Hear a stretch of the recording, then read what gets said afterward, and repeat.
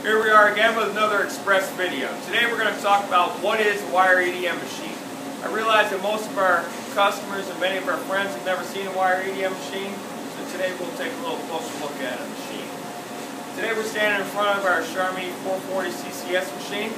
It's a little larger machine than most machines. We can actually cut through 15 and 3 quarter inch material. The X travel is about 23 inches, the Y travel is about 13 inches. We a pretty big part into this machine. As with all EDM machines, there's an electrode. In this case, uh, a small brass wire is the electrode. Now electricity is applied to that wire and the electric jumps from the wire to the workpiece and slowly away the workpiece. The wire actually never touches the workpiece. In this machine right now we have 10,000 diameter wire loaded up. We're set up to use 6 thou 10 thou, and 12 thou diameter wire. This machine can actually go all the way down to 3 thousandths diameter wire, which is about the size of human hair. Some of the high-end machines on the market can actually go down to what we call 8 tenths diameter wire, or 8 to 10 thousandths of an inch diameter. Along with different sizes of wire, there's also many different types of wire. Brass wire is the most common, and then there's different types of coated wires. Most of the coatings are made of zinc and help to increase the cutting speed of the machine. So let's take a little closer look at how the wire goes through the machine. Wire comes on a spool like this. It goes through a series of pulleys.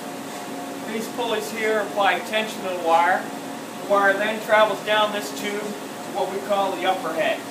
In the upper head there's a contact that touches the wire and delivers electricity to the wire. Right below that, there's a diamond guide. This diamond guide has a small hole in it that's precisely the same size as the wire. The wire then travels down to what we call the lower head. It first goes through another diamond guide that's precisely the same size as the wire. It's these two diamond guides that control the accuracy and positioning of the wire. Below that lower diamond guide, there's another contact that touches the wire, delivers electricity to the wire. And below that, there are two pinch rollers that grab the wire and pull the wire through the machine. At that point, the wire goes to the back of this machine. And why don't we go to the back of the machine and see how this machine handles the wire. Here we are at the back of the machine.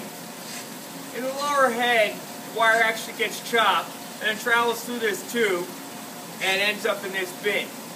Here the wire is dropped into maybe quarter inch long pieces. Other machines handle the wire differently after it leaves the lower head but in all cases, wire can only be used once and never reused again. Why don't we go back to the front of the machine and check out the table on this machine. Here we are at the front of the machine. Here you can see that our table has a big hole in it. This is because the wire must go from the upper head to the lower head. This also means that anything we machine must go all the way through the part. Thus we cannot machine any blind holes, counter bores, or anything like that.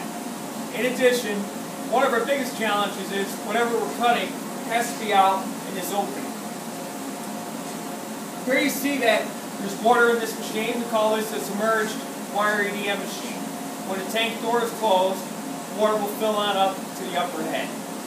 This will totally submerge the part in water. The conductivity of the water is controlled to control spark.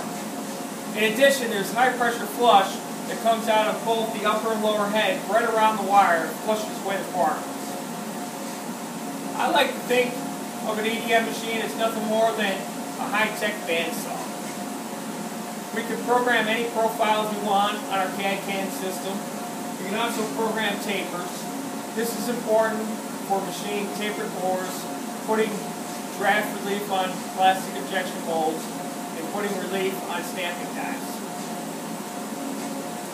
In order to machine a hole with a wire EDM machine, there must already be a hole in part. This can be done with a milling machine or with a hole popper before wire cut the part. One of the real interesting things is that these machines can actually cut the wire, move to another hole, and thread the wire in another hole and continue machining. This allows for some extended run times. Why don't we take a little closer look at this machine cutting and threading the wire. Here you see that the wire is threaded through the machine. When we cut the wire, the machine applies electric to the wire, stretches it, and then cuts it. There you see the wire is no longer threaded. Now the machine can move to another location and thread the wire. When the threading cycle starts, there's a jet of water that guides that wire down into the lower head. And there it is, threaded right there, and that's how a wire EDM machine cuts and threads the wire. As always, thank you for watching our video. Please check out our other videos online.